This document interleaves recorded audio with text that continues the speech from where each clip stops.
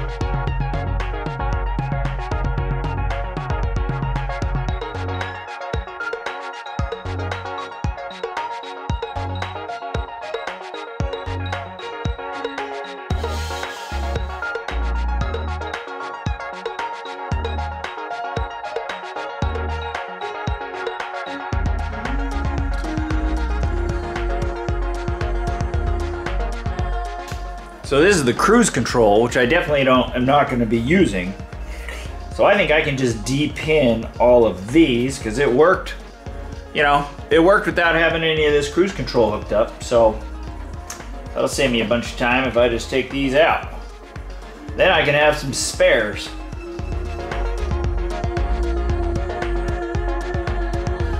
There we go. Cruise control removed. And as I mentioned, this will give me spares in case I screw this up.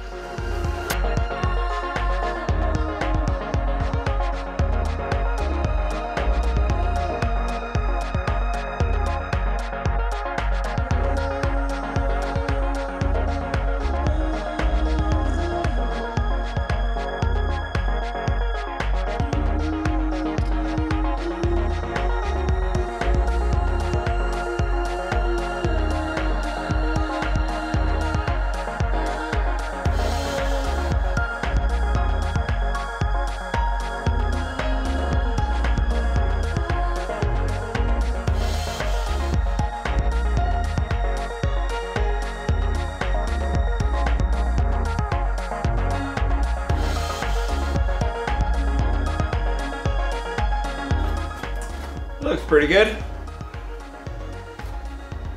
I think that worked out pretty well. Then the next one is this one. Let's hope this goes just as easy. ODBD 2. Yeah.